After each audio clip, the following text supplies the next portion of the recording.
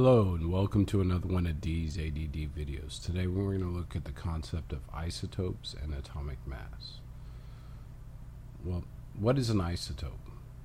Isotopes are atoms of the same element that have different atomic masses. Now, if they're of the same element, we know that they have to have the same number of protons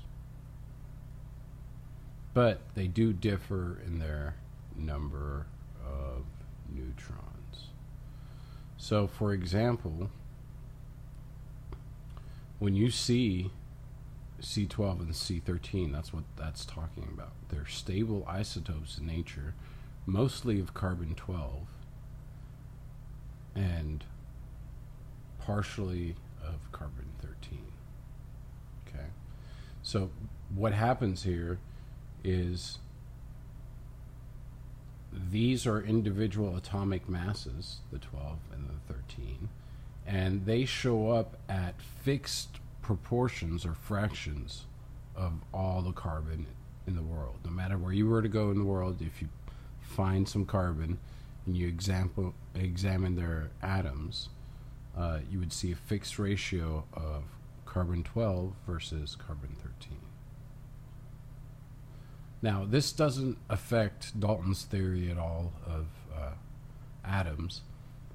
The behavior of both of these isotopes is virtually identical.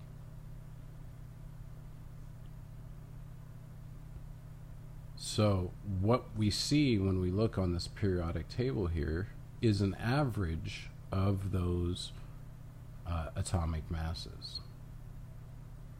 So, that 12.011 there is taking into account the fraction of the carbon 12 times the mass of 12 plus the fraction of the carbon 13 times the mass of 13. And as you can see, the proportion is drastically in the favor of carbon 12. That's what allows us to get that average atomic mass.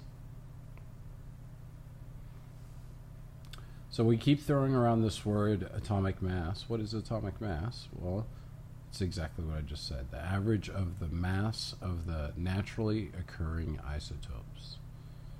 This is what you're going to find on the periodic table. It's also referred to as a molar mass. Once we discuss the concept of moles, we'll go over the concept of molar mass as well. Now, don't confuse atomic mass with protons plus neutrons. That's the mass number. Okay. Um, here we're talking about the average of the atomic masses of all the naturally occurring isotopes. So, how does this work? What's the concept? Well, the isotopes, like I said, only show up a fraction of the time in each sample of carbon or whatever we're discussing.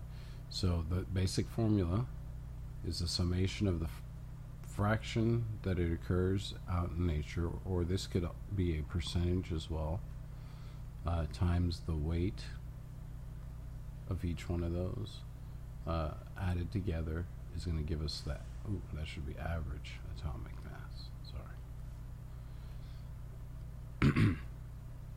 so, for instance, if we have two isotopes, A and B, this could easily be the carbon 12, and this would be the carbon 13.